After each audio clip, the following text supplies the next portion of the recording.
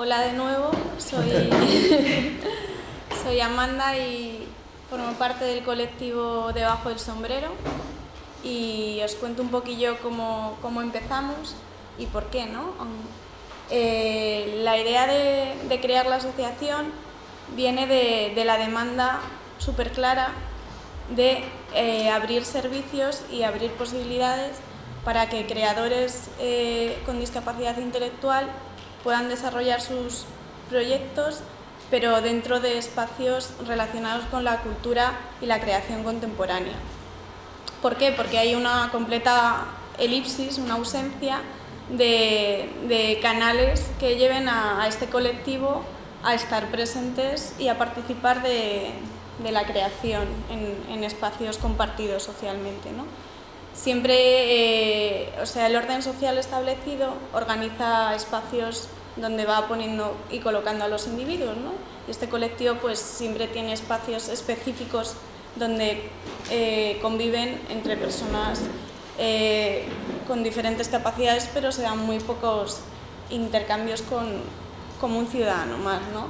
Entonces, nuestra idea surge de la convicción de que cualquier persona con discapacidad intelectual, eh, sean cuales sean sus necesidades de apoyo, eh, si le gusta y le interesa, puede desarrollarse como, como creador.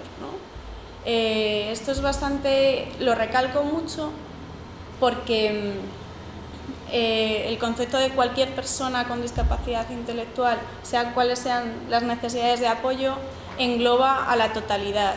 ¿no?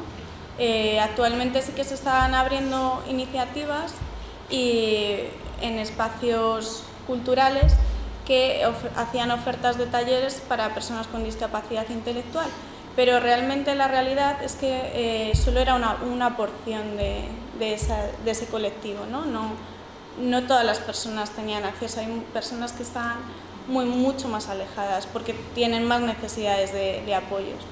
Entonces, eh, pues una vez creada la asociación, iniciamos una primera intervención, como, veis que aparece ahí. Como os comentaba, empezamos con una primera intervención. Ahora mismo eh, hemos realizado cuatro experiencias diferentes, pero la primera y la que más nos, nos interesa transmitiros hoy, porque nos parece como la, más, la más experimental y la que nos está dando más reflexión, es la que realizamos en el matadero, en intermediario. Hola, Zoe. Entonces, eh, os iba a poner un vídeo de cómo fue esa primera intervención, porque fue muy, muy espontánea. Nos juntamos un, grupo de creadores con y sin discapacidad intelectual y nos planteamos eh, iniciar una experiencia eh, de proceso creativo en el cual el centro fuera las relaciones interpersonales y la comunicación. Eso enlaza muchísimo con lo que decía Santiago de entender la práctica artística como un proceso creativo. Entonces nosotros no sabíamos a qué resultado íbamos a llegar y ahora han pasado casi tres años y tampoco el resultado es muy desconocido. Pero lo que nos interesa es que ese camino sea interesante para cada una de las personas que participamos en él. Entonces os quería poner un breve vídeo de cómo fue el principio y luego otro de cómo está ahora.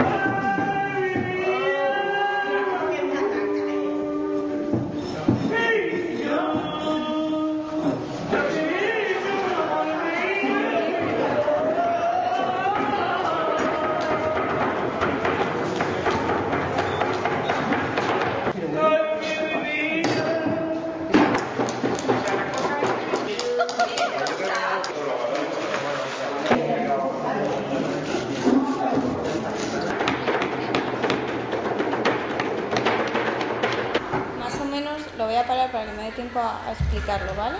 Porque yo creo que más o menos os, os he eh, trasladado un poco a lo que es el, terrario de intermediario. Eh, la, primera intervención empezó con, como os he dicho, con un grupo de personas e iniciamos una acción colectiva. Eh, esta acción cumplía con los objetivos que, la asociación tenía en mente, que era, lo primero, presencia comunitaria de un colectivo heterogéneo. ¿no? Entonces, eh, desarrollar intervenciones en un espacio como Matadero ya nos situaba en presencia. luego, para dar un paso más, nos planteamos el tema de la participación comunitaria. No solo es habitar el espacio, sino hacerlo vivo.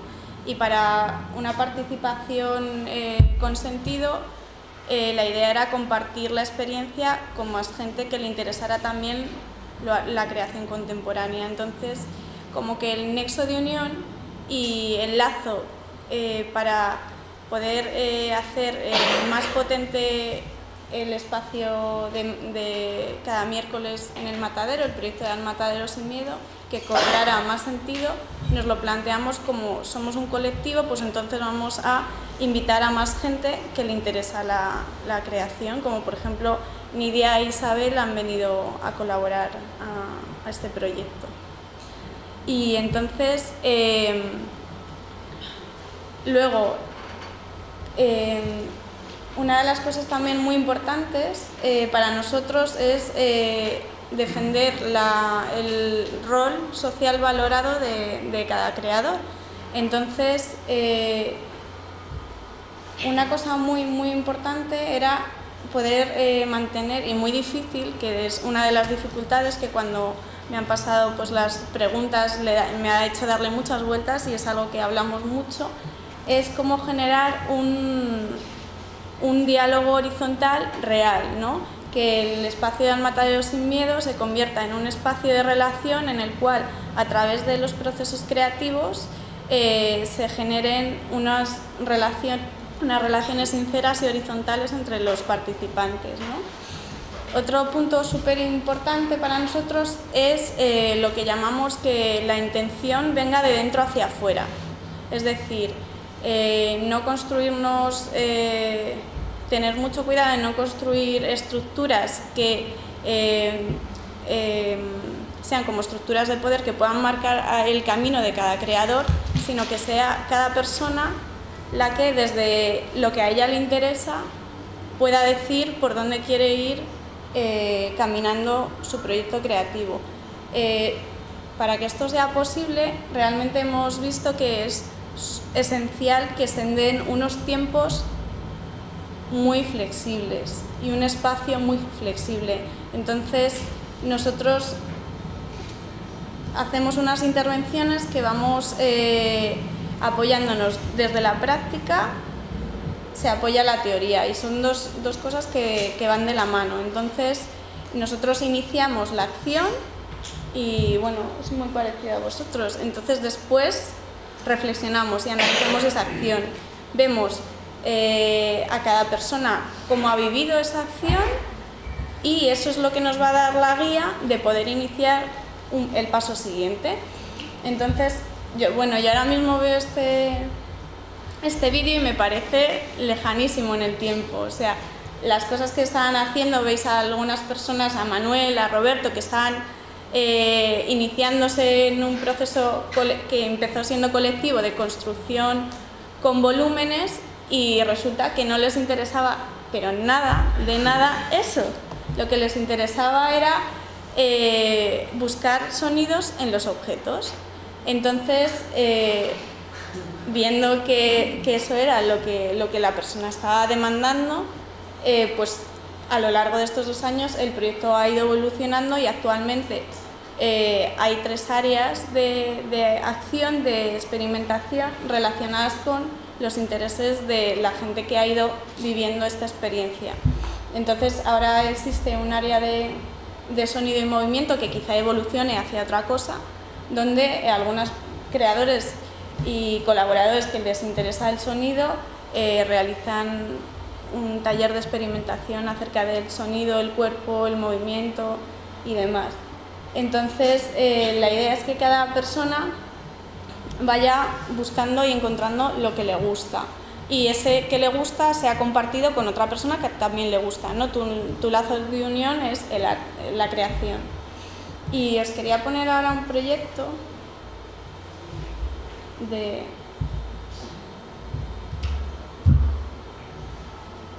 Carlos Mariscal.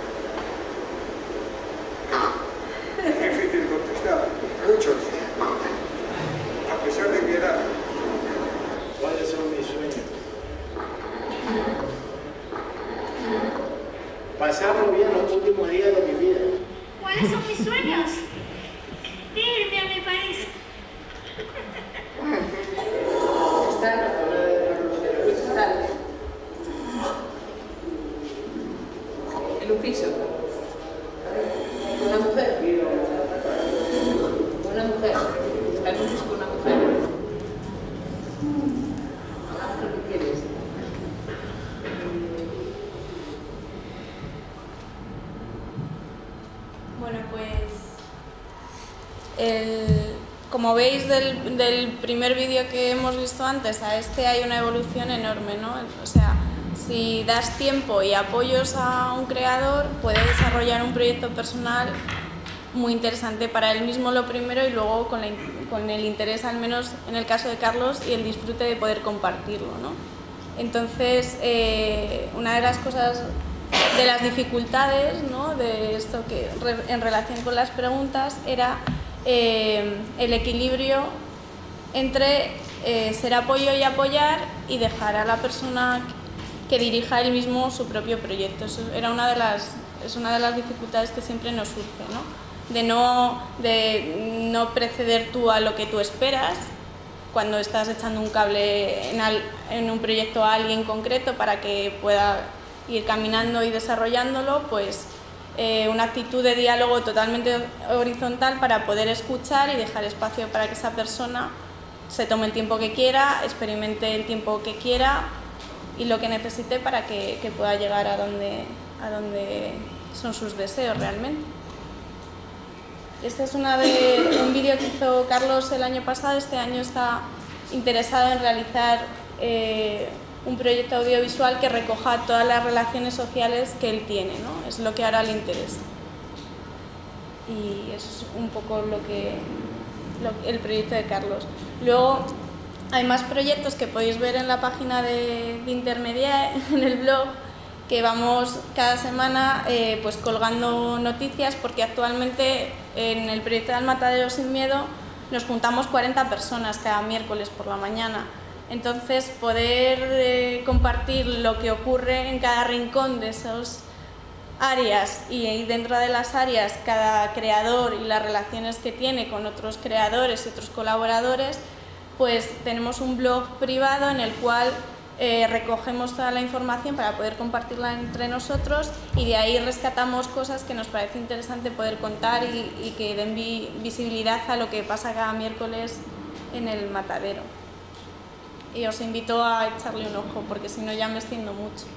Y es como un proyecto muy vivo y que caminas mucho con la duda todo el rato, pero a la par es, es como una búsqueda de motivación y de continuar y de, y de disfrutar juntos. Felicitar a Amanda porque tuve la suerte de mucho tiempo de poder estar por la mañana. Yo creo que los vídeos no hacen justicia porque realmente los objetivos de los que he hablado de crear espacio vivo y de igualdad se cumplen totalmente. Yo no conocía a nadie, me sentí súper a gusto durante toda la mañana, todo el mundo tenía su espacio súper claro, se hacía un trabajo impresionante, así que, bueno, me pareció... así que no tengo... que volver. Sí, sí, no, no tengo ninguna pregunta de ti, vamos, me pareció increíble, vamos, de los mejores proyectos que he visto, sobre todo por, porque veis los objetivos, muchas veces los objetivos son tan buenos que cuando ves el resultado no te impacta pero en este caso todo se. Me pareció increíble. El ambiente que se creaba, la atmósfera del trabajo en el Matadero sin Miedo, pareció alucinante. Y luego quería hacer una pregunta a Victoria Santiago, y es que, bueno, yo fui educadora de museo durante un tiempo y siempre me pregunté que, qué hacemos los educadores de museo que no puedo hacer un buen profesor. O sea, siempre he sido muy crítica con la postura de realmente, o sea, ¿qué puede ofrecer un educador de museo en un aula si un buen profesor trabaja constantemente? Porque yo mi experiencia fue que el buen trabajo, los días que me iba a casa diciendo hoy he tenido un buen trabajo con los chavales, era porque detrás había un profesor excelente. Bueno, en mi caso maestro porque era de primaria, pero es que se notaba el ambiente del grupo, de todo. El trabajo era bueno si detrás veías un maestro que había estado todo el año. Entonces decía, pues quizás yo doy solo un aire fresco, una actividad nueva, un poco de apoyo a, romper la linealidad del trabajo en el aula, pero no ofrezco nada relevante, nada... Porque eso en un día, en eso sí que me parece muy bueno, lo de poder estar tres días con los mismos chavales, pero sigo diciendo que es el maestro y el profesor el que se juega el trabajo porque ¿qué hace ese educador? No son un día, sino algo que, tiene que ofrecer de nuevo el educador del museo dentro de un aula. Porque el profesor sí que puede romper esos espacios. ¿no? Por ejemplo, tú subes también a los alumnos a las mesas, eh, sacas sogas por la ventana, o sea que hay más profesor en el espacio. Entonces quería que los dos pudierais contestarme a, bueno, ¿qué, tiene que ofrecer el educador? Yo trabajo con el museo constantemente. Pero trabajo con un porqué. O sea, yo cuando llevo a mis chavales al museo, sé a lo que voy y llevan su guía didáctica hecha en clase para... O sea, sabemos dentro de qué proceso está. Normalmente la, autogestionamos nosotros y entonces al, al, al, museo le pedimos tiempo y espacio, lo que has dicho tú, o sea, es lo que necesitamos. He tenido experiencias Hemos hecho experiencias piloto, además de ir en concreto a CaixaForum a ver la colección de arte contemporánea dentro del, proyecto de contrastes. Y entonces fuimos con un grupo preparado en el que cada chaval era un pintor o un artista, o sea, cada uno, si era Barceló, él era Barceló, nada más que Barceló. Con lo cual, la monitora cuando empezó a contarnos, dijo, no sé qué Barceló, entonces el chaval dice, Barceló soy yo. Y entonces, ¿cómo? Entonces él le explica cosas de Barceló al grupo y a la monitora. Y entonces, claro, la monitora se quedó, que decía, bueno, Baselic, ¿quién es Baselic? Yo, entonces le contaba. De tal manera que eso para los chavales tenía importancia. Hicimos otro grupo control en el que no había habido preparación, fue interesante, pero al día siguiente lo habían olvidado.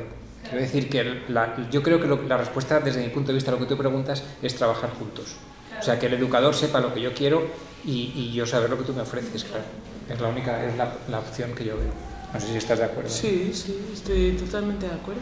Es decir, eh, que se trabajen juntos el profesor y el museo y que, bueno, que, por ejemplo, en mi proyecto es lo que digo, no es solo mostrar eh, pues una nueva práctica de arte contemporáneo, sino también un nuevo método de, en la educación. Es decir, eh, no es que, no es que estemos en contra del profesor, sino que, que, también le sirva al profesor para eh, todas sus, toda, pues, pues, su día a día, ¿no? si tiene algún, algún sentido. Claro, para que se pueda agenciar también de esa metodología de cara a emplearla más adelante dentro de su propia dinámica en el aula para otras cosas. Sí, yo creo que eso sí que es una cosa que se puede aportar y desde luego el espacio y el y, los recursos y el, salir fuera del espacio educativo, que también es algo que a mí me parece fundamental, y esa otro, ese otro tipo de relación de excepción que yo sí creo que de alguna manera eh, permite el estar con un grupo fuera del espacio de autoridad que es el aula. Yo creo que eso permite y otros articular claro, y con otros interlocutores. Porque a lo largo del curso, nosotros sí es verdad que tenemos el privilegio de estar mucho tiempo con los chicos, pero yo creo que llega un momento que se aburren de nosotros, como es normal. Entonces que venga alguien y que les cuente a lo mejor lo mismo que les estás contando tú, pero de otra manera, en otro espacio, siempre es bueno porque no sé, están ahí metidos. Yo siempre que les digo, digo, vamos a, ver otra cosa. Yo creo que siempre es positivo, siempre. Que venga alguien nuevo contando cosas nuevas o contando cosas de otra manera, para que ellos vean que efectivamente siempre hay muchas maneras de hacer las cosas, muchas maneras de verlas, muchas siempre, siempre va a ser positivo que venga gente de fuera con ganas. que con ganas ya, con eso se está hecho un montón, un montón, un montón, un montón de camino. Plantear hasta qué punto tiene que ser o cómo ser la comunicación, porque yo, basándome en mi propia experiencia, yo con Amanda hice un, hicimos un taller para el Instituto Cervantes y, por ejemplo, nosotros tuvimos un problema que fue que, mm, bueno, un problema, según se mire, era, en este caso estábamos con, era, bueno, era primaria ya, yo creo que era primera de primaria, entonces nosotros la comunicación, bueno, las profesoras encantadoras, tanto les explicamos muy claramente lo que íbamos a hacer, tal, pues queríamos preguntar, bueno, pero ¿qué saben hacer, no? Si saben, eh, habéis practicado la escritura, habéis practicado o qué tipo de dibujo, que, bueno, ¿no? para saber un poco en qué, en qué nivel tienen los niños y tal.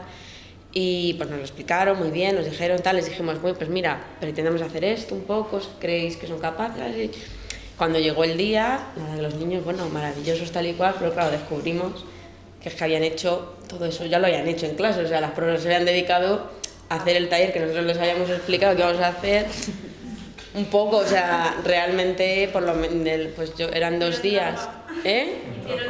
Hicieron, y claro, hicieron trampas, claro, los niños lo hicieron súper bien y salió estupendo el taller, pero, y se lo pasaron muy bien, pero era un poco como lo están haciendo por segunda vez. Entonces, pues un poco plantear ahí un poco, hasta que también en vuestras experiencias y tal, el tipo de comunicación que tenéis con los... Sí, la verdad es que no le contamos mucho. Decimos que al profesor que es un taller de performance y que jugamos con eh, la idea de romper o sorprender directamente, que no se enteren nuevamente por otro, otro medio que sería el profesor de una manera eh, explicada, sino empezar con nuestros métodos desde el principio, es decir, desde la acción. ¿no? Es decir, eh, sí que es verdad que podíamos explicarlo, pero yo creo que no es interesante para nuestro proyecto pero también es como algo que, que, está eh, tan poco visto en las aulas que no, o sea, que empiezan todos o el 90% o el 95% desde cero. Es decir, nadie conoce ni qué es una performance, ni cómo trabajarla, ni los profesores. Respecto a lo que tú decías, a lo mejor, cuando, cuando un profesor viene a hacer una esta de performance, hombre, yo creo que algo alguna actitud positiva hay por su parte porque hay muchas actividades para hacer y el hecho de performance tiene que ser un poco rarito. Pero, pero no estaría mal preguntarle que por qué viene. O sea, cuando que desde el museo se le dijera desde el taller, ¿por, qué, ¿por qué te interesa este? Entonces también nos daría pistas para saber en qué línea va. Yo creo que una de las cosas que más les gusta es que vaya eh, así, eh, para empezar, es que vaya eh, el, nosotros que vayamos a su, a su centro. la verdad es que no tiene mucho que ver con la performance, pero es, es, verdad que cuando hemos dicho, yo creo que es una cosa que les gusta, es decir, un, un, educador a domicilio, ¿no? Bueno, es una razón también positiva como otra cualquiera. Claro, es que el trabajo se queda, para mí gusta como un poco a, a medio camino, porque lo que hace, una de las cosas que hace lo, lo, que, lo que estás planteando es hacer a la gente ser consciente de los marcos de sentido en los que vivimos. ¿no? O sea, pasar una puerta coloca una frontera, eh, hacer no sé qué, sentarse, levantarse, y ves lo arbitrario que son los actos. Esto lo ves súper bien cuando tienes un hijo, porque como le estás metiendo y dices, ¿y por qué así no asá? ¿no? O sea, en realidad estás construyendo marcos de sentido, que no es que hay, que hay que renunciar a construirlos, hay que construirlos. Lo que hay que es como pensarlos, ¿no? esos marcos de sentido. Goffman lo piensa así, ¿no? tiene un libro que se llama Análisis de Marcos y lo que hace es eh, eh, la irrupción, el cortocircuitar los marcos lo único que hace es explicitar un poco los marcos en los que vivimos. Entonces, un trabajo como ese es tan interesante para luego trabajar de forma continua porque vivimos, en el espacio en el que vivimos y porque has comentado lo del género, pero se podría hacer prácticamente con todo, ¿no? ¿Por qué nos sentamos en una silla? ¿Por qué no sé qué? ¿Por qué uno está arriba y otro está abajo? Entonces, Claro, ahí la potencialidad de ese trabajo es... ¿Consideras que, que el alumno eh, no, no, llega a esas conclusiones o no se no, lo No, lo que digo es que se podría aprovechar todo ese trabajo para un montón de cosas que surgen en el aula y que son mm, problemas de la vida cotidiana. O sea, no, no, digo, a ver, no quiero decir que, digo que un trabajo ahí en coordinación con con quien está con esos chavales, que es al fin al cabo la persona que conoce de forma cotidiana un poco ahí las fronteras de todo tipo, sociales, espaciales, eh, tal, como joy que nutriría ese trabajo puntual, lo multiplicaría por mil. Pero a, mí por eso me interesaba también cuando, cuando al escribir sobre el proyecto eh, decías, a nosotros no nos interesa que, que, la propuesta sea solo para el alumnado, sino también para el profesor. ¿En qué sentido para el profesor? A mí me parece interesante en ese sentido, en el sentido de que a lo mejor muchos profesores, eh, si se trabaja explicitando de antemano cómo va a ser el taller, qué va a pasar, etcétera, ellos no entran al juego de poner en cuestión también esos marcos que de alguna manera... Pero a mí me, a mí me parece muy guay ese claro, método, claro, de no hacerlo antes, antes sino de que ellos se hagan después. Sí, y que, y que el propio profesor se encuentre con eso en el proceso, porque eso permite que a lo mejor lo incorpore después en su práctica cotidiana en el aula. Eso es lo que da la oportunidad a, a, que, a que eso se convierta en una experiencia también vivencial del profesor, no en, en un discurso que viene hecho desde la institución, arte, ¿no? y que yo visito, pero igual que visito me voy. Entonces, a mí en ese sentido era en el que me interesaba también que, que, se explicitara en qué se, o sea, por qué también es para el profesor, ¿no? Porque mm, hay una búsqueda de incidencia en el profesor pues semejante o, o paralela a la, de, a la que pueda haber en el, en el alumno. Claro que las dificultades con las que se encuentra el profesor por su posición, por su trayectoria, por, eh, por todo, son, son distintas. Eh, y a lo mejor también puede ser interesante esa evaluación posterior con el, con el profesorado a modo de coloquio, ¿no? Claro. invitar a todos los que han pasado por, por, el, por el taller, hacer una reunión, oye, vamos a hablar de cómo lo, has- cómo lo habéis vivido, ¿no? qué ha supuesto y cómo podéis incorporar eso después o qué crítica también a vuestra propia actitud. Yo creo que esa como segunda parte puede tener unos efectos después. Pues la verdad es que sí, sí, de hecho es algo que, que, que vemos, que el- incluso se nos queda ahí en la tercera, no sé, que, es verdad que, podría ser un proceso mucho más amplio y esa, esa idea me parece súper interesante. A mí no me sirve como educadora y creo que a, a- las personas que trabajáis en esto tampoco creo que os, sirva demasiado, es las hojas de evaluación. Eh, Es un formato que no funciona, que no genera debate, que no genera mm, discurso ni interno ni colectivo y que no, que no, que, que no tiene, o sea, que es una burocratización, pero que ves que no a ningún sitio, ¿no? Entonces quizá también es, una, es necesario reformularnos cómo evaluamos. A mí en ese sentido, lo que, lo que habéis mostrado, Amanda, de, de la evolución del propio proceso, eh, se ve que ahí estáis evaluando de otra manera, ¿no? que es eh, viendo cómo cada persona está reaccionando al proceso de cada miércoles. Claro, eh, lleva a, a, otros, a otros sitios de manera Pero mucho más eh, también, por ejemplo, hemos, hemos visto, porque eh, algunos creadores vienen con algunos apoyos del propio centro y ahí se ha generado muchísima, o sea, una cosa muy complicada, porque había algunos eh, apoyos que venían del centro que no entendían muy bien eh, la libertad que se daba en el taller y les generaba mucha angustia.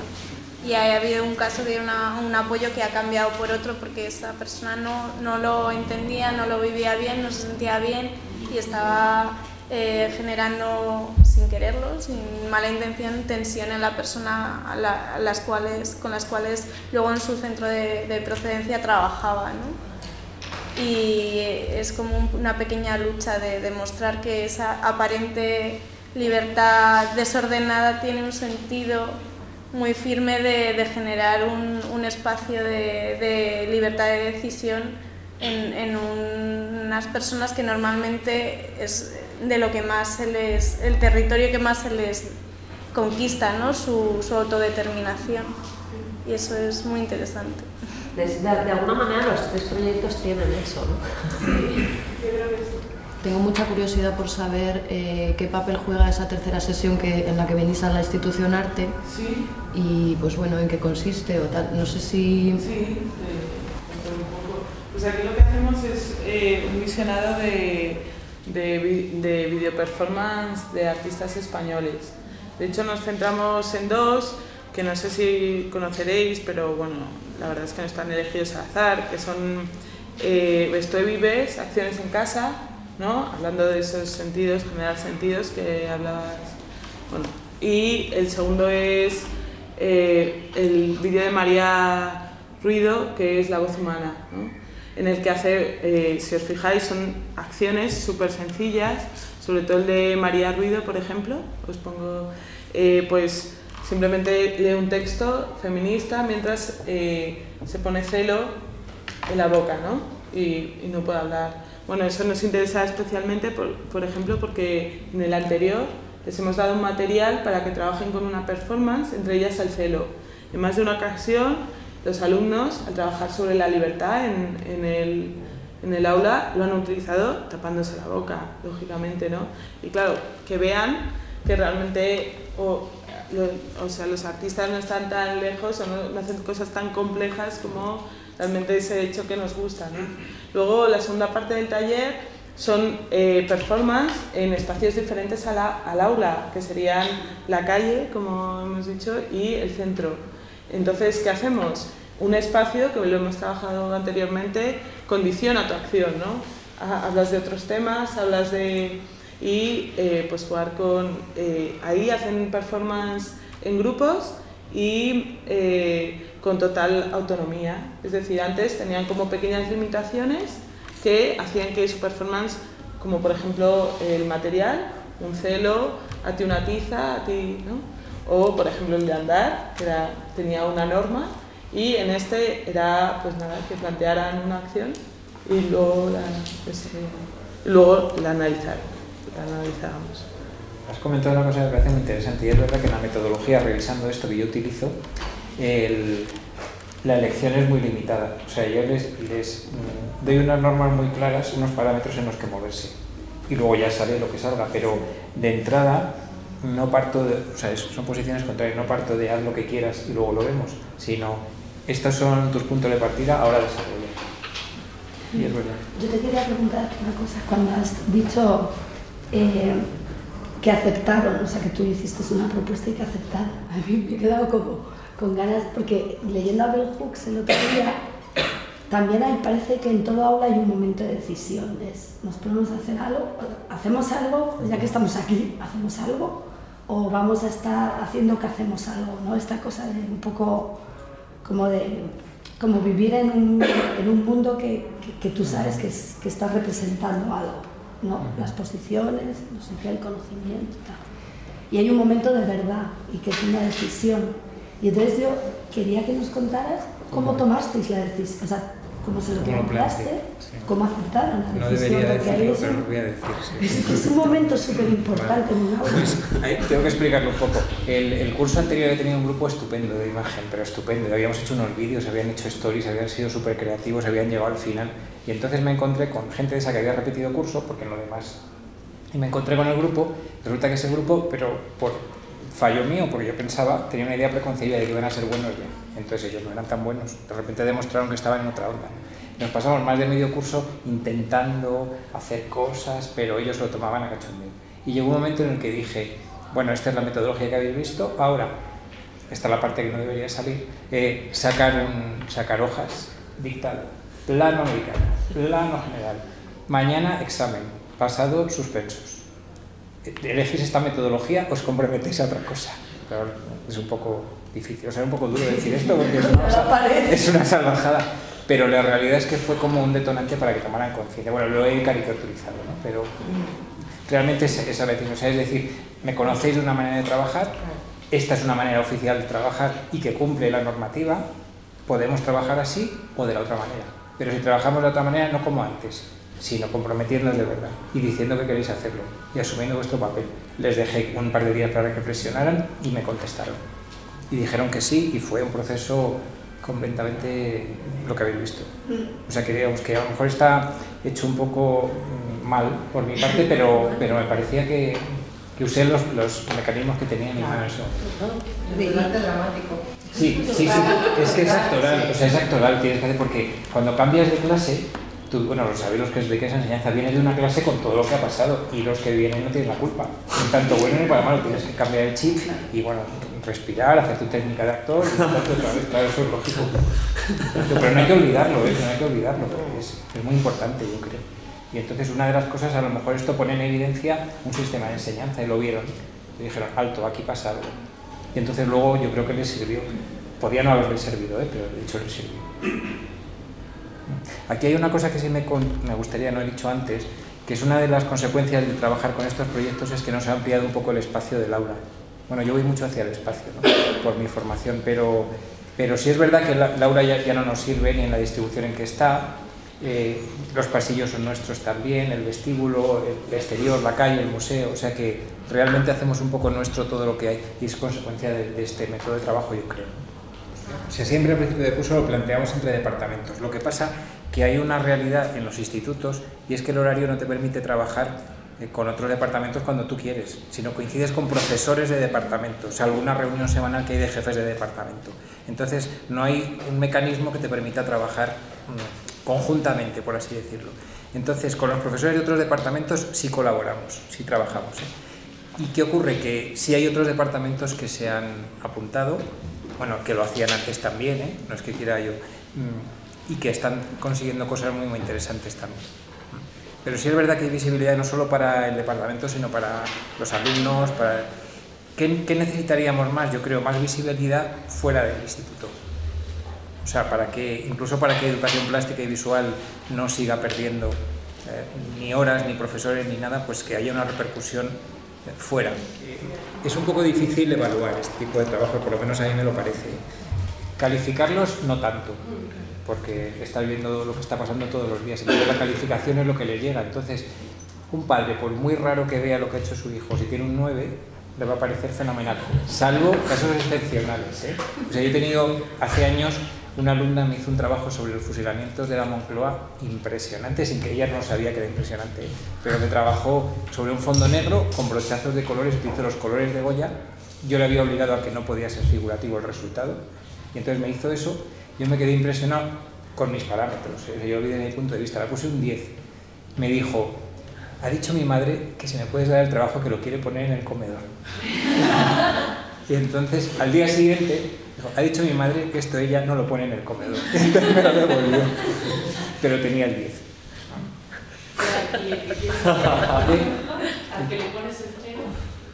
Porque el 10 es muy fácil de aceptar. Ya. Claro, pero piensa que para sacar un cero mm, es muy difícil. Es que es muy difícil.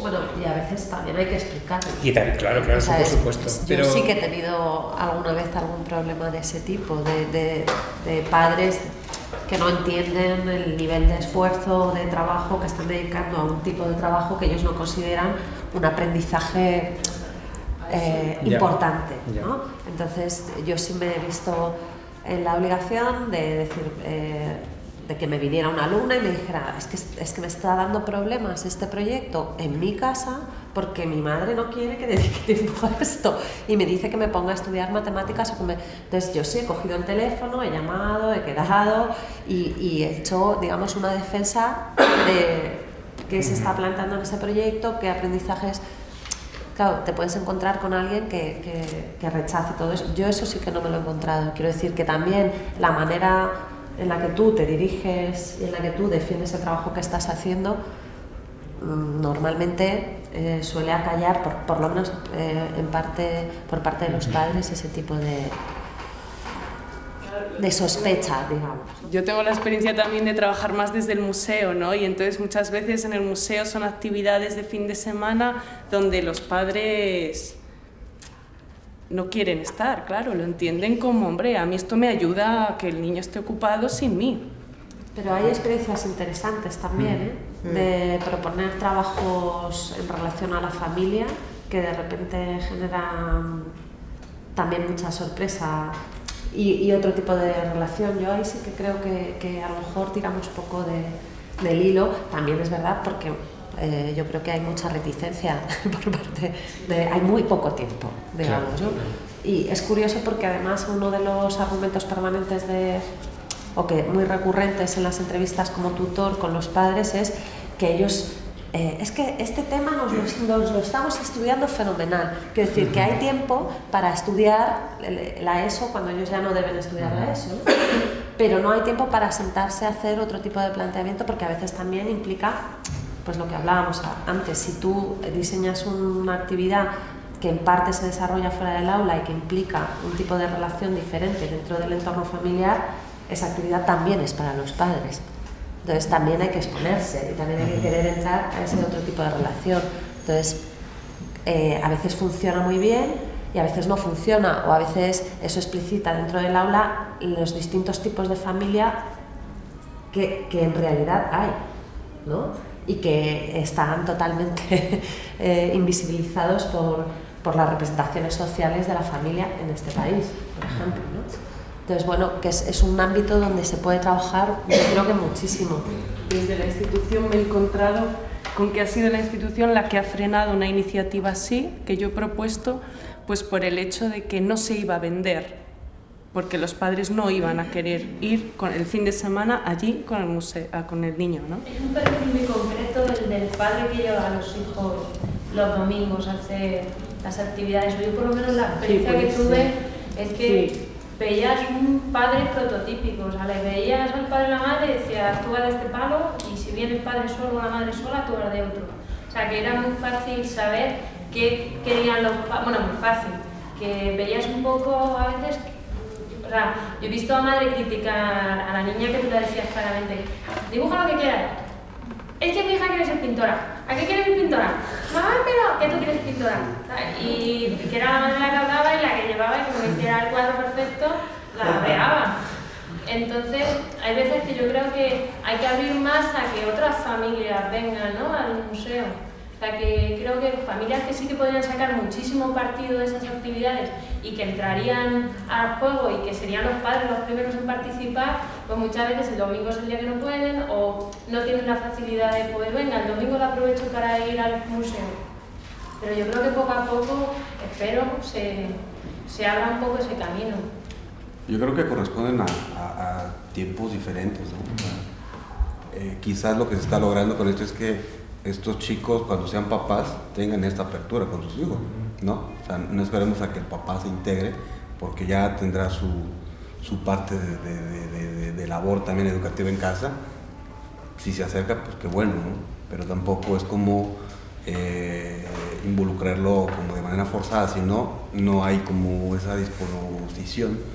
Y creo que en este caso lo que se evalúa es el proceso del chico, no, no como en el proceso tradicional de evaluar este, qué tanto se parece lo que el chico hizo al, al modelo, ¿no? sino más la disposición, la participación, el que se quiere integrar. Y yo creo que es un espacio de confort para el chico donde ve que hay libertad y que puede experimentar y se rompen estos esquemas que, conozco poco, pero eh, de que si eh, domina la perspectiva, que si puede sacar un primer plano, segundo plano, entonces ya hay como que un espacio de confort en el que, como tú decías, ¿no? se va apropiando ya no solo de las cuatro paredes, sino de, cómo hace suyo los demás espacios donde él se siente a gusto. Pero yo creo que el, punto importante es que se evalúe el proceso, ¿no? no un objeto final, sino qué ha pasado en todo este tiempo. Bueno, y como no hay otra manera de evaluar más que con un número o una nota, sea, mientras no exista otra forma, eh, esa y será. ahí lo que tú comentas es muy importante el registro también, el registro de todo lo que se ha hecho como, como método para poder hacerlo. Eso es importantísimo, fotografía, vídeo, lo que, documentación, lo que haga falta, pero es muy importante el registro, es que es lo único que te queda. Al final, si no parece que se va todo un poco. Cuando solicité vuestro taller el año pasado, que al final pues lo solicité demasiado tarde y ya no había plazas, pues a mí me atrajo bastante la idea de que partía de eh, un centro de arte contemporáneo y digo, esto ya seguro que es bueno. Ya, solo por eso seguro que es abrir ese a otra cosa y es estupendo. ¿no? Y, y, claro, y considero que no es que sea una experiencia positiva el que vaya alguien al instituto o que salgan los chavales, es que es imprescindible y se debería hacer pues tres veces al trimestre o, cuatro con cada uno. Es que es imprescindible, porque es que si no eh, hay una, mm, una alimentación entre unos y otros, mm, en fin, que se enrarece mucho el ambiente. Entonces, eh, que vaya gente nueva, que salga es totalmente imprescindible. Y este año he, podido asistir a sus talleres casi un poco de, de, casualidad, porque he caído en un instituto que habían pedido sus talleres y justo, pues bueno, y mm, no sé exactamente cómo evaluaría eh, el, paso de los chicos por el taller, pero quizá intuyo, porque no, les conozco, no los he conocido antes, o sea, no sé exactamente cómo era, mm, quizá intuyo, no lo sé, voy a intentar eh, asegurarlo en el instituto, eh, más responsabilidad desde mm, su parte, por su parte. O sea, veo como que se creen más lo que hacen o creen más en lo que hacen, un poquito más, ¿no? Quizá. Y también mm, yo asistí a los talleres con, con ellos y yo les estoy dando dibujo técnico ahora, que no tiene absolutamente nada que ver, pero sí que vieron que hay otro que aprecia lo que hace, que eh, eh, pregunta por su trabajo y es capaz de, de, de, valorarlo eso y de interesarse por, por eso tan, tan raro, ¿no? Como es una acción, una performance, ¿no? Y entonces como que sí que parece que hay una valoración y hay, lo veo como más responsables en sus actos o acciones, claro. A mí hay una cosa que me saltaba mucho de los tres proyectos, que creo que la palabra en el, en el vuestro no estaba, pero en los dos vuestros sí que es autoestima, ¿no? Y yo quería preguntaros a los tres ¿Cómo vinculáis el tema de la autoestima con la reivindicación que se da en los tres proyectos del, artista o del creador? ¿no? O sea, que, los tres también lo mencionáis de, bueno, tú especialmente, esa figura del creador, ¿cómo, la entendéis? O sea, que, em, ¿cómo se puede ofrecer el arte como una herramienta que tú puedes asumir en tu vida pues para entender la realidad, para, no sé, cómo... cómo ¿Cómo lo veis eso en, los proyectos? Yo lo relaciono mucho con, con decisiones que tienen que ver con eh, satisfacción de, deseos y de sueños de la persona. Es decir, aquello que a esa persona realmente le hace sentirse bien y le hace ser feliz. Puede sonar muy utópico, pero en, nuestro, en nuestra misión aparece la idea de proyectos de felicidad y entiendo entonces que todo aquello que esa persona eh, pueda acercar a su vida, en este caso a través de la creación, lo creativo, la creatividad, y que le, haya, le haga sentir bien, es como que es buena señal. Yo lo, es sencillo, pero yo lo, lo entendemos así. Me parece que el arte puede ser una herramienta de felicidad. Sí, creemos en ello. Es verdad que hay ciertos momentos en el que los chavales se sienten muy bien, pero no son todos. Es decir, no me encantaría que, fuera así, pero realmente hay momentos más duros, ¿no? Momentos en, pues eso, que, a lo mejor eh, pues le exigimos esa responsabilidad, no es tan positiva ni, eh, tengo una, una responsabilidad, soy totalmente, no, es algo que les haga tan felices, sino que por lo menos a corto vamos, no sé, pero, pero sí que tienen como luchas internas, eh, porque estamos corriendo por los pasillos, porque sí que, pues, sí que eh, es, es, una situación de conflicto, ¿no? Al estilo un poco Hook, lo que leímos en la anterior sesión y realmente es verdad que hay momentos para la no sé para la alegría o dentro de la acción ¿no? o para que me miren cómo lo hago pero hay otros momentos más duros de reflexión de que se cuestionen realmente lo que son lo que son en ese espacio y, bueno, y que no son tan, tan alegres. El hecho de que elijáis la performance, o sea, yo creo que es que el trabajo con el cuerpo y en la adolescencia obviamente tiene que generar determinados momentos donde haya eh, crisis, además delante de los demás. Y yo creo que eso es una parte súper aceptada de la elección de la performance como una, una, una metodología, digamos, de, apropiada para trabajar con estas edades. ¿no? Y además, otra cosa que a mí me parecía muy positiva es el, mostrarles que ese agenciamiento o esa posibilidad de creatividad se puede hacer desde un ámbito de, eh, necesidades casi nulo, ¿no? de, materiales, de eh, esa, esa, esa, ese mostrar que la posibilidad de, convertirse en agentes de la enunciación eh, de una manera creativa y responsable se puede hacer con poquísimos medios, a mí es algo que me parece que, que, genera mucha amplitud de, de, miras a largo plazo. Y, y, que permite, no sé si siempre de una manera totalmente alegre, pero yo no creo que a lo mejor la felicidad sea un estado siempre alegre, ¿no? yo no, no, lo confundo, pero yo creo que sí permite eso, una ampliación de libertad que puede permitir acercarse más a, la felicidad que otras, que otras situaciones. Aclarar que felicidad no era momento de éxtasis y alegría así como absoluto, sino que proyecto de felicidad, o sea, felicidad al añadirle la palabra proyecto delante, habla de un proceso largo en el cual eh, si tú vas dando caminos en los cuales cada vez te vas acercando más a lo que a ti te gusta, a lo que te hace sentir bien, a lo que te interesa, al, aprendizaje eh, sincero, o sea, un aprendizaje no forzado, sino significativo para esa persona concreta, pues se puede decir que te vas acercando hacia un proyecto de felicidad personal. Pero es como proceso largo, con muchos batacazos, con muchas dudas, con momentos de, preocupación o de incógnita, no como, como momentos simplemente de, felicidad.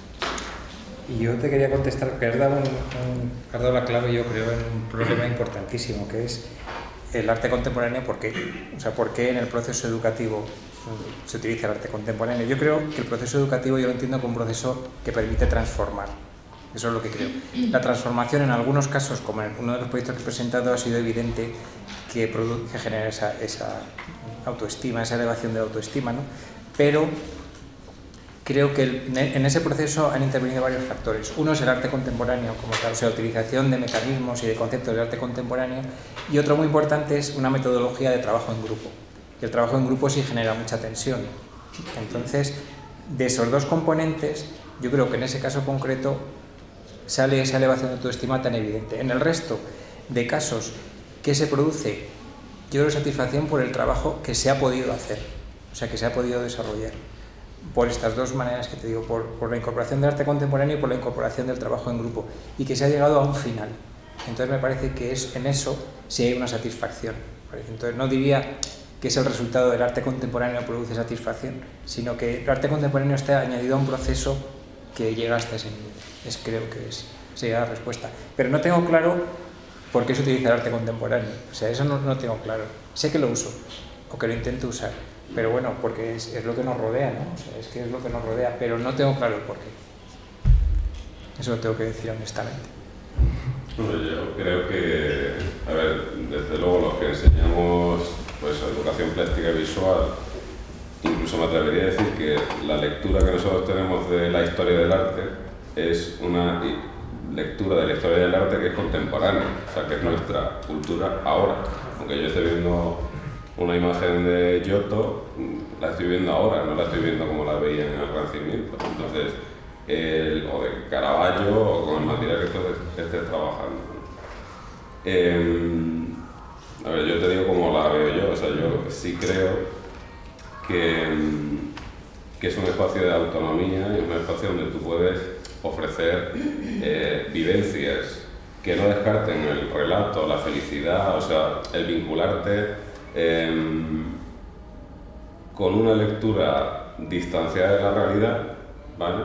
que te permite distanciarte mm, después todo el rato. O sea, digamos que durante el trabajo artístico tú te estás distanciando para hacerlo y cuando dejas de hacer el trabajo artístico resulta que ya no has perdido el hábito, sigues haciéndolo, ¿no? que es un poco lo que se supone que, que hace un artista, entre comillas. Entonces, eh, claro, por eso me generaba la curiosidad ¿no? de ver a partir de qué idea del artista trabajaba, ¿no? porque yo mm, eso intento hablarlo con mis alumnos, que, que en principio yo no, mm, o la asignatura de educación clásica visual no está ahí para que sean artistas, pero claro, yo me refiero al artista profesional. Otra cosa es que yo les tengo que ofrecer el lenguaje del arte, ¿no? Y bueno, pues como no solamente por ponerle en contacto con la cultura previa a ellos, ¿no? como cosas que otros seres humanos pensaron y hicieron antes, eh, sino como algo que ellos pueden hacer, como ha salido antes, con, con mínimos recursos. Respecto a lo que hacéis en Debajo del Sombrero, me quedo con ganas de saber o sea, es trabajar con un colectivo a priori, por lo menos para mí, que me parece como muy complejo o por lo menos desconocemos mucho de él, ¿no? Muy desconocido en todo caso. Entonces, por un lado es si sois mucha gente, cómo os organizáis, con, si hay gente que acompaña a, a los artistas y cómo interconectáis con los artistas y con la gente.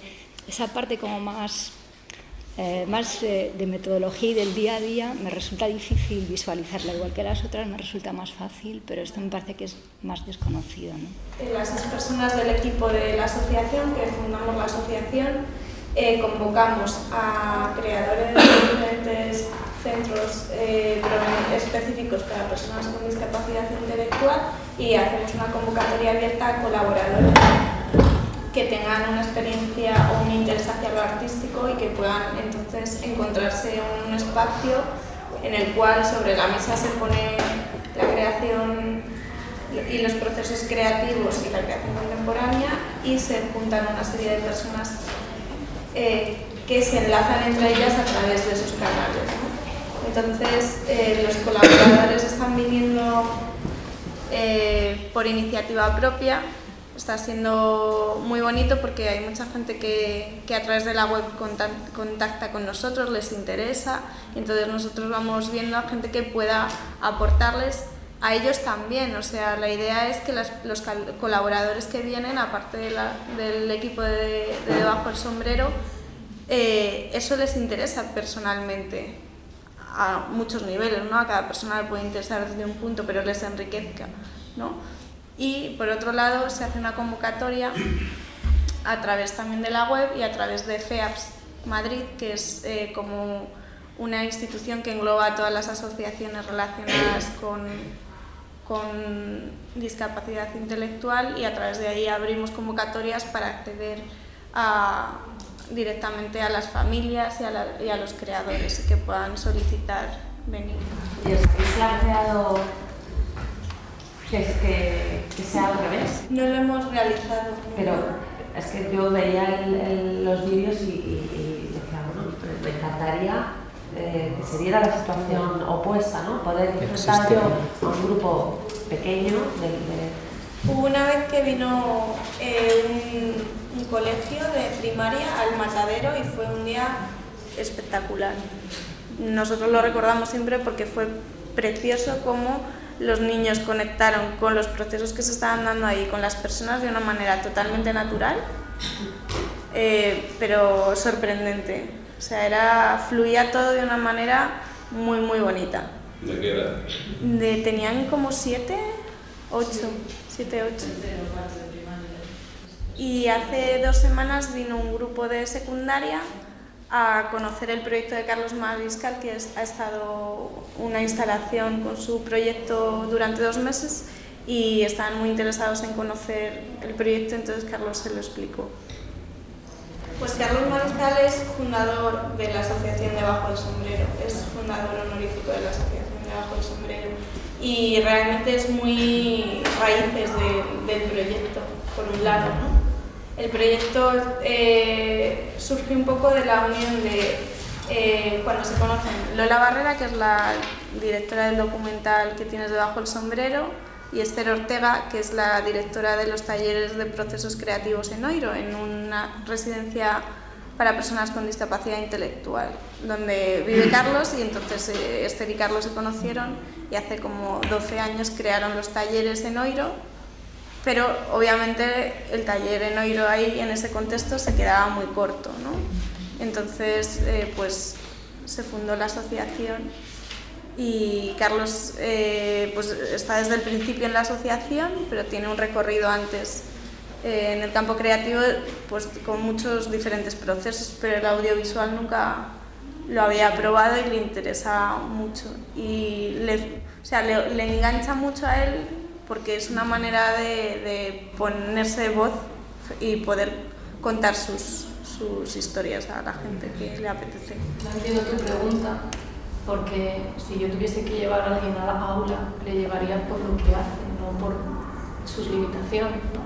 Yo no lo necesariamente por lo que hace, pero por lo que Ya. ¿sabes? Ya, pero... Por lo que veo que hace. Ya, pero...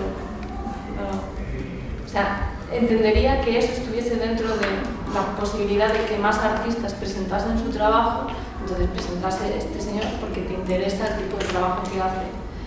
Pero dar, o sea, igual que no entiendo que artistas plásticos tengan que enseñar o tengan que mostrar su trabajo a gente que tenga limitaciones, sino a un público en general, porque yo creo que lo que presentáis en Debajo del Sombrero no solo aprende la gente que viene de allí, sino el otro artista que ve al artista aprende. ¿no?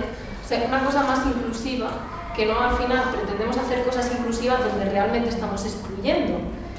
Y Desde luego me me quedo como una cosa más, no sé si es que no... Yo lo había entendido así, de, hecho, si fuera de la otra manera, realmente Claro, no nos no gustaría. No nos gustaría, preferiríamos no No hacer. Hay una experiencia, no sé si conocéis, no, es- no tiene nada que ver con, No, no, con arte, pero sí con la creación de papel, que es la Fundación APAI, que trabaja con chavales discapacitados. ¿Lo conoces, APAI? Entonces nosotros cuando vamos a los, los institutos, allí vamos la clase, bueno, vamos a ver cómo se fabrica el papel, y- pero, pero a los chavales les choca mucho y quien se lo cuentan son chavales discapacitados. no son chavales que trabajan en el papel. Sí. Claro, pero que, que además tienen discapacidad, que para los chavales es importante, para los chavales que van del centro es importante, porque son sus iguales, y ahora no son sus iguales, sino que son superiores a ellos. Son superiores, son los que dirigen el grupo, y ahí tienen un aprendizaje que no es fácil conseguir habitualmente, solamente con eso. ¿no? O sea, vamos porque es un taller de papel, pero además quien lo da son personas que son, en la vida cotidiana serían personas con discapacidad y allí son superiores a los chavales que no tienen ninguna discapacidad. Me parece importante. No lo consideraría exclusivo, o sea, que es- no es una... Sí, sí, me parece muy bien que dentro de un programa donde se acerque al artista, al aula, se trabaje justo eso, ¿no? Se acerque el discapacitado, la mujer, y que se vea que no solo el dotado es el capaz de hacer arte. Me parece muy interesante, pero no limitarlo a un colectivo, sino abrirlo. La creación es algo en lo que todos estamos capacitados y está el señor que pues quizá haya tenido problemas con el alcohol y ahora hace una obra estupenda y viene a presentarla. La señora, que por ser mujer es un colectivo excluido y ahora trabaja el arte y hace una obra estupenda, pero destacando su obra, hace una obra Sí, yo creo que en estupenda. eso estamos de acuerdo. Muy cerca de debajo del sombrero y el debate que planteas, Publio, es uno de los más complejos y de hecho sur- ha surgido hace poco porque son tres años ¿no? los que llevas eh, visitando ahí. Y este año ya salía porque mm, aprovecho para invitaros. Ahora mismo están expuestas las obras de otro artista, de Belén Sánchez. Entonces, claro, la formalización de este primer año, que debajo del sombrero eh, tiene eh, una ayuda pública, una convocatoria destinada a proyectos de creación, porque los otros dos años allí el estatus de artista todavía no suponía un conflicto, porque no era tal, eran una especie de ocupas, estábamos ahí trabajando y entonces, claro, el marco era otro. Y este año que, que- uno logra la visibilidad y la prensa, etcétera, etcétera, y el blog y todo eso, eh, acabamos, acab- yo me incluyo, pero vamos, no, acabaron eh, eh, formalizando la historia en una especie de panel en el que se exponen las obras, las obras. Entonces, o sea, sí, el resultado, o sea, el vídeo concreto de Carlos, eh, la, no sé cómo llamarlo, lo que hace Belén, habría que... Sí, un vi- videoarte, una video performance, un- es algo, bueno, muy contemporáneo. Si estamos aquí por las obras o por la calidad de las obras o estamos aquí por algo que no es eso, pues con debajo del sombrero lo que hemos vivido son como esquizofrenias, porque había momentos en los que obviamente eso no era lo importante y ahí estaba la potencia, el hecho de que eso daba absolutamente igual, ¿no? Si la acuarela o el mural que, ¿no? Porque si tú trabajas... Y luego hay momentos en los que, solo porque ya no quiero extenderme yo más que te quiero... Y luego hay momentos en los que de repente, eh, o bien por el proyecto de felicidad de esa persona o del diálogo entre la persona que apoya y ella o X, mm, se llega a un momento de, bueno, de, pues para aumentar la autoestima o para lo que quiera ser, a un momento en el que se roza el tema ese del estatus del artista más convencional, de exponer la pieza a ser posible, vamos que si en un momento dado te despistas, se lo colocas en un pedestal. Pero porque además estás trabajando con un colectivo que no tiene voz, entonces dársela es tan importante que ahí no es el debate del artista convencional no tiene el mismo valor, o sea, no tiene el mismo valor, no es un artista blanco, burgués, tal, no, es alguien que ya con solo tener voz de repente dices, ostras, le ponemos el pedestal, vamos, o sea, que hacemos una difusión aquí que venga.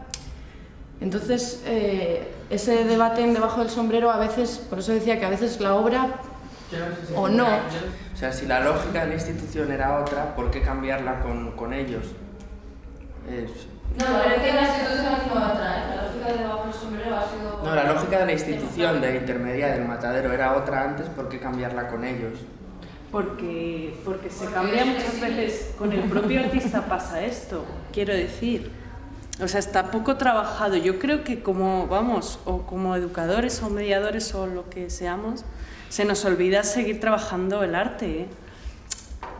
Quiero decir que es que hay muchas obras que no son... Pero como artistas o educadores que educamos en el arte, no pretendemos generar o crear creadores, que es la diferencia. Yo defiendo eso, ¿eh? Defiendo el proceso por encima del resultado, lo defiendo, pero porque no estoy formando a creadores, estoy invitándoles a que nos conozcan un medio de comunicación, de, para comunicarse, para expresarse. Y es diferente. Eh, no, pero yo hablo ya desde el punto de la institución, no desde los educadores, por eso, ¿eh? o sea, que creo que estamos hablando de dos cosas distintas. Yo, yo creo que la institución tampoco lo tiene muy claro, porque por ejemplo, eh, Joseph Boyd decía que todos somos artistas, y está el cliché igualitarista de que todos potencialmente somos artistas y todos tenemos la capacidad de, o sea, cualquier gesto, cualquier, y ahí está lo de performance, ¿no? Es un, un, un acto creativo. Entonces yo creo que el tema no es tan baladí, o sea, ¿por qué no un grupo de, discapacidad, discapacitados intelectuales puede haber un artista potencial que puede circular en los circuitos y puede convertirse en una gran estrella? ¿no? De hecho, yo creo que hay figuras los así. hay, claro, lo Entonces, iba a decir. no nos podemos hablar de estas cosas, ¿no? Ya, pero ¿y si el proceso del grupo entero, sin que haya ningún individuo, o sea, más que evidentemente mediadores y diseñadores del, del proyecto en sí, pudiéramos considerar que eso es arte? O sea, que, que si un artista, por ejemplo, Santiago Sierra, eh, dijera, vamos a hacer una obra con discapacitados intelectuales y, digamos, utilizara y explotara, que es la palabra que yo uso, eh, a un colectivo, por ejemplo este, para hacer una obra de arte oficial, hiciera una foto en blanco y negro, estupenda, que estuviera en arco, entonces eso es arte, ¿vale? Entonces yo creo que ahí hay que ser un poquito menos eh, paternalistas, o sea, que, al final parece que estamos esperando que venga ese, el, artista blanco hombre, por supuesto, ¿vale? Para que venga a reivindicar que, mira, aquí hay arte que no os habéis dado cuenta, ¿vale? Bueno, pues yo creo que, que vuestro colectivo, o sea, yo creo que ahí no es tan importante, para mí, ¿eh? El, el producto, aunque de lo que hemos visto, desde luego, yo estoy con Marta también, o sea, yo creo que es una bomba, por ejemplo, lo que hace Carlos, eso es un producto, o sea, un producto con el que se puede trabajar, que daría pie además a, a un trabajo mucho más profundo, ¿no? Por ejemplo, con chavales de secundaria, lo que fuera. Em, pero es que a lo mejor el arte es todo, o sea, todo ese proceso entero de los tres años que lleváis desde el principio. Sé. A mí, desde luego, me genera bastantes preguntas.